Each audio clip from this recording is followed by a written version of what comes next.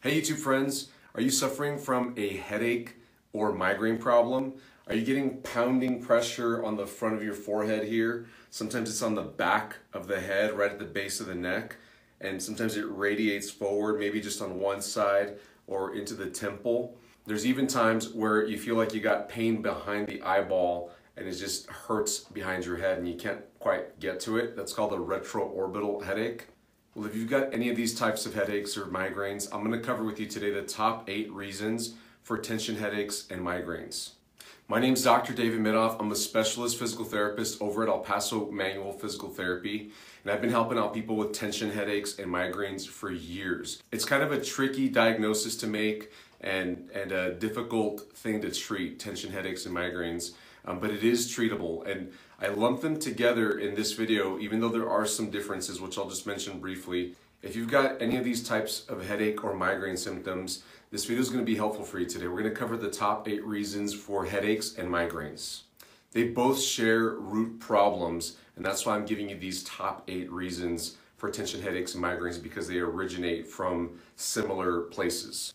Now, just to go into the differences, Tension headaches is exactly like what it sounds. There's typically pressure buildup somewhere in the head in any of those places that I mentioned, forehead, back of the head, temples, behind the eye. Um, you can get tension, pressure buildup. It feels like it's tight in the area um, or feels like there's a lot of pressure, weight, and it's just uncomfortable to deal with. Um, it can often mess with your emotions. It just makes you grumpy. It, it, it just is an uncomfortable feeling. Oftentimes, taking uh, over-the-counter pain medication uh, like like Aleve, um, and ibuprofen, naproxen, or even Tylenol can help that. Versus a migraine, a migraine is more neurally driven, more nerve driven, and um, those kinds of medications may not help as much because it's it's more of a nerve problem. The the ibuprofens and naproxens are more geared towards treating a muscle and tendon problem, a joint problem, which a tension headache is more like. So a migraine is more like a nerve problem. And you get nerve type symptoms, so there's more sensitivity to stimulation with migraines, such as sensitivity to light, sensitivity to loud noises, um, even emotional sensitivity. You know, it's just harder to deal with, with um, problems whenever you've got a migraine issue. But like I said, both of these problems, headaches and migraines, tend to have root causes, and so that's what I'm going to cover with you today. So let's get into the top eight reasons for tension headaches and migraines. The number one reason is muscle weakness. Now there's tons of muscles that come off the neck and go to the shoulders. There's tons of muscles in the front of the neck that help with swallowing, movement of your head, looking up and down and all around. But there's some deep muscles to all those other muscles, the throat muscles, the movement muscles. We call them the deep neck flexors. And those oftentimes are weak. And they're weak for a variety of reasons. It could be um, other factors that I'll talk talk about here. But overall, we find in people that have uh, frequent tension headaches and migraines, people that are suffering from those problems that we help here in the clinic, they've got some overall weakness and then some severe weakness in just a couple of those muscle groups. And uh, when we strengthen those muscles, oftentimes, well, pretty much all the time, whenever we see clients here, their headache symptoms and their migraine symptoms begin to diminish and eventually they get under control to where they're not having to take a pain medication every day or whenever they get a migraine or, or headache to deal with it. The second most common reason for tension headaches and migraines is neck stiffness. So this is kind of related to the strength issue that I was talking about just a second ago. But if you take a moment to turn your head in each direction all the way, like you're looking over your shoulder. So turn all the way to the right, turn all the way to the left, as far as you can go and just assess, just kind of feel or look with your eyes how far you can go and, and then think about how your neck feels as well. If it feels stiffer to one side versus the other, then you've likely got a neck stiffness problem. Now, I'm looking at joints whenever I'm looking at a patient's neck in regards to a headache or, or migraine. And whenever I find stiff joints, almost always there's nerves that are being mildly compressed. There's muscles that are spasming just a bit to hold that joint, uh, to take some pressure off that joint um, and protect it, the ones that are stuck. And that's what's causing the stiffness. It's a combination of the joints being not as mobile as it should be, and then the muscles around there protecting, and then the nerves getting aggravated as a result of that joint not moving and the muscle not moving. So there's some sort of neck joint stiffness, muscle stiffness that's contributing to that headache and migraine problem. The third reason is poor posture. Now, this can be related to a desk job or not. Today in our American culture, we've got screens everywhere. We're probably attached to screens, whether it's a mobile device, a phone, a tablet, a computer, a TV, a movie screen. There's all kinds of screens around us all the time. And um, as a result of that, we're fixated on a screen for a while, so we might not have the best posture. And that carries over into our everyday conversations with other people, uh, the way we sit and have a meal, that it just, the, the posture becomes our norm, our default. And if it's not very good, it can promote the neck muscle weakness, upper body weakness that I was talking about, and those joints and, and muscles getting stiff as well. Um, so posture has a role in it but usually if we fix the, the stiffness and if we fix the strength, the posture tends to improve. And uh, truth be told, worrying about your posture constantly is not a good idea. It's, it's better to worry about it just a few moments throughout the day. Typically, when you're in the worst posture, like maybe when you go sit in front of the computer, um, or, or if there's a if there's a time, maybe if you're using your phone or reading books, people that read a lot, um, that might be the time to really focus on the posture versus worrying about it all day. Because some people that come into the clinic here, they're hyper aware of their posture and trying to fix it. And, and, and the reality is that it's just not practical to fix posture constantly all day long. It just, it, it can get obsessive and, and bothersome for some people. So um, it is a contributing factor, but I wouldn't make it the main thing that anybody fixes to relieve a tension headache or migraine problem. The fourth reason, and it's related to the posture, is bifocals and reading glasses.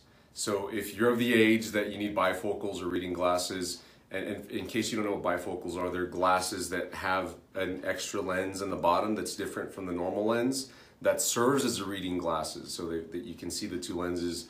And you know, people will put on the, the bifocals and the reading lenses on the bottom or they'll just get the reading glasses that, that tend to be smaller and tend to uh, sit a little lower on the nose bridge or, or sometimes they slip down or they just aren't as big as normal glasses so they they have to look down. Well think about the posture. If you pull up a book or, or a screen people tend to do this. They tend to tip their their nose up to stick their chin out to view whatever they're looking at through the glasses the reading glasses or the bifocals and it puts their head and neck in not the best posture.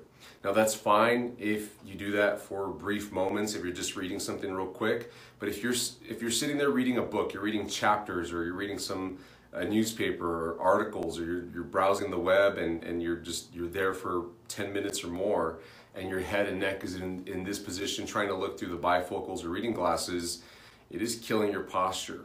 So you got to think about the the position, the posture that you're in, that make sure that your glasses are on right um, and what I always encourage my clients that are heavily dependent on reading glasses to do is to get glasses that are the full size for reading. So, so go to the eye doctor, spend the money if you need to. Um, it's typically not that expensive anyway.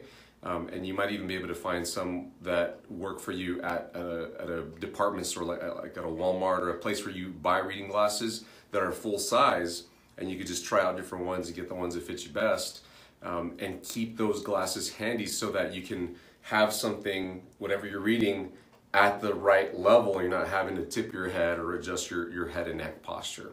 So be careful when choosing bifocals or reading glasses. And honestly, I, I would rather you not get the bifocals, just get reading glasses unless you find that it just fits your personal situation the best. But but go with the big full reading glasses lenses, not the bifocals that are small or the reading glasses that are small.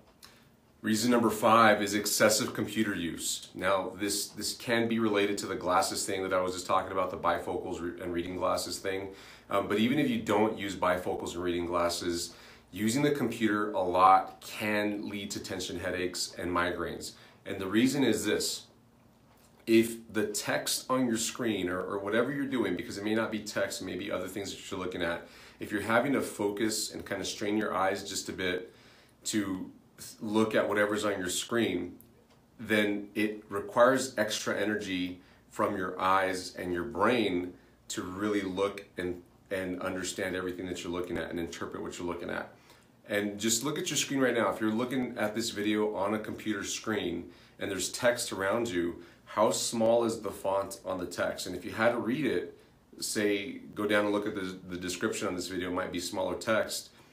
If you have to really focus to scan the text and read the text, and you do that for hours on end, or even just an hour, it takes a lot of energy from your eyes. And what many people don't realize is your eyes are part of your nervous system. It's an extension of your brain, it's an extension of, of nerves. Uh, in the medical field, eyeballs are classified as nerve tissue. Kind of weird, right? Because you can see your nerves that way. But it tires out, it, it exhausts the tissue. And, and when you exhaust nerve tissue, it can affect other tissues nearby. And of course, right behind your eyeballs is your brain. So if you've spent a while straining to read text or look at small things on a screen, you bet it's going to tire your brain out and it's going to probably develop a, a, migraine more likely or even a tension headache, especially if your head's in not the best posture and you're using reading glasses or bifocals like I just described. So think about making the text on your screen bigger or use zoom features on, on your computer screen or mobile device, whatever you're using. Um, a lot of, I, I, use Kindle a lot, um, uh, so I'm, I'm looking at a, at a, Kindle device or, or Kindle app on, on a mobile device. You can modify the text size on those things and, and work to find out those features and, and learn how to use those features so that you're not having to strain when you read, you can just scan and go through the text a lot easier. Reason number six is not getting enough sleep or rest. Your nervous system requires sleep and rest, just like the rest of your body. What many people don't realize is the nervous system, the brain, the nerves, the eyeballs, all those nerve tissues are some of the highest energy demand tissues in the body. Did you know that the nervous system is only about 2% of your entire body weight? Just 2%. So, in other words, for a 200 pound person like me, that's four pounds of tissue. it's not that much. Yet, it requires 25% of the oxygen that I breathe in at any given time. That's hugely disproportional. So if you're not getting enough rest to, to allow those tissues to recover and regenerate and, and be healthy, it can strain the nervous system and create aches and pains in different areas. It can create um, suboptimal use of the tissues. It can create the muscles, uh, the muscles, the nerves that connect to the muscles may not operate as good as they can. So that can also contribute to the neck weakness and eventually the joint stiffness as well. So it is incredibly important that you get enough rest and sleep. Now, I'm a type of person that does not require a full eight hours of rest. In fact, I, I kind of get uncomfortable in bed if I'm there that long. I'm more of like the six to seven hour type. And, and I function very well off that. I, I think that's my normal amount of sleep and rest that I need. And there's even times where I'm physically tired, say if I've been exercising for a while, uh, like a couple days in a row, then my, my body's physically tired, but mentally I'm, I'm rested. So there's times where I will just lie in bed. I've slept my six, seven hours, but I can feel that my body, my, my, the rest of my joints and muscles need a rest. So I'll just lay in bed for 30 minutes to an hour. Um, and I won't, I'll try to not tax my, my nervous system as well. I won't be on a screen. I, I won't, I'll just be there thinking to myself or, or even just trying to not think, just trying to meditate or, or pray for a minute so, so that I can rest my body. Um, so it is important to get rest as well as sleep. Reason number seven is chronic dehydration.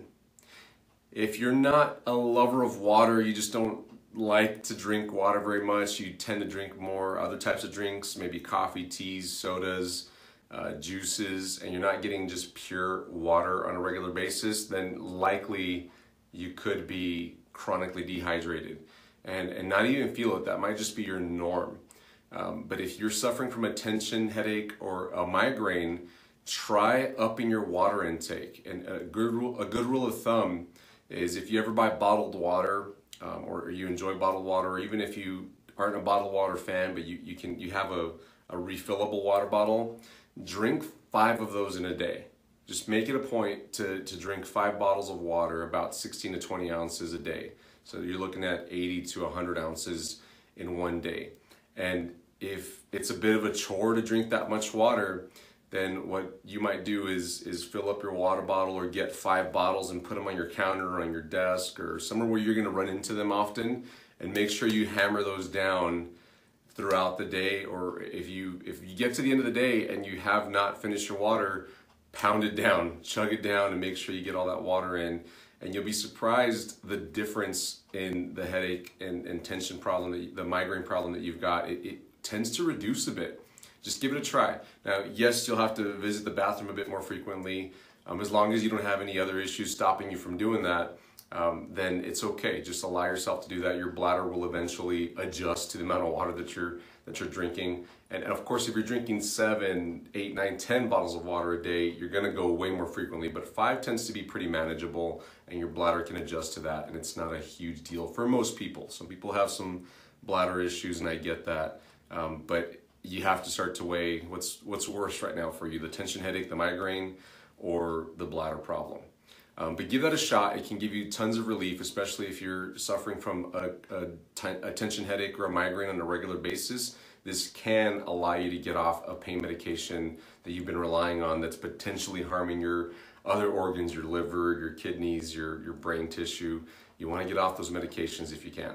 The final reason, reason number eight for tension headaches and migraines is not enough exercise if you've got a desk job, especially if you tend to be sedentary, maybe you don't have a desk job, but you just you're just not exercising on a regular basis.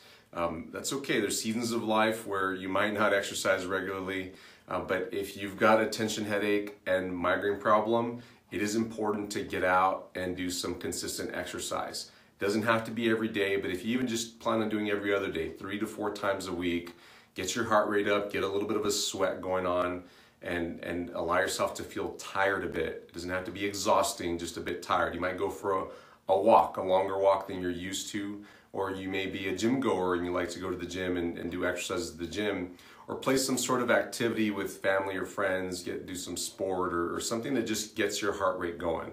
I've got small children and I'll just roughhouse with the children, play with them the way they like to play, chase them around the house, and, and I'll literally look at the clock and I'll say, okay, it's it's 5 p.m. I'm going to play with them for a solid 30 minutes or even 45 or an hour if, if we can. And, um, and that's pretty tiring. That's pretty exhausting if we just keep going. Bring the energy, get your heart rate up, be okay with getting all sweaty. Just plan on taking a shower afterwards. And, and that can be your form of exercise. I love going to the gym as well. I'll go to the gym for 45 minutes to an hour a few, a few days a week.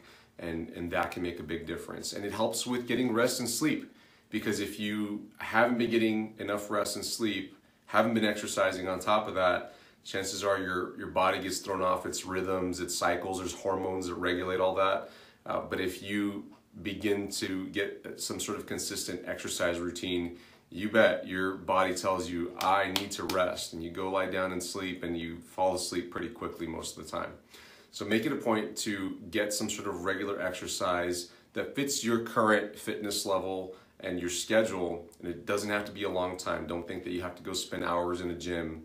Uh, it could be as simple as a 15 to 20 minute walk. Um, you might just do it briskly to get your heart rate up and get a bit of a sweat going. Uh, you could be indoors or outdoors. It, it just depends on your personal situation, but get some consistent exercise built into your schedule. If you thought this video was helpful for you, please give us a like right here. And if you want to be notified about other helpful tips that we put out, we, we put these out consistently, hit the subscribe button right over there so that you can get more specific help for other issues you might be uh, looking to get help with. And if you're looking for more neck and shoulder videos, if you've got, because sometimes these headache problems, these migraine problems develop into shoulder problems as the nerves get more aggravated, the, the symptoms can go down the arms um, even the upper back, the, the thoracic spine, the upper back area. Um, there's tons of videos. We've got a playlist. Go over to our homepage on YouTube. Just hit the logo of, of our YouTube channel here and um, scroll down a bit. You'll find a playlist that's all neck and shoulder videos and you'll find more helpful tips and exercises there that you can start doing right away to get help for a tension headache and migraine problem that might develop into something else. Um, so check that out. Thanks, YouTube friends. Bye bye.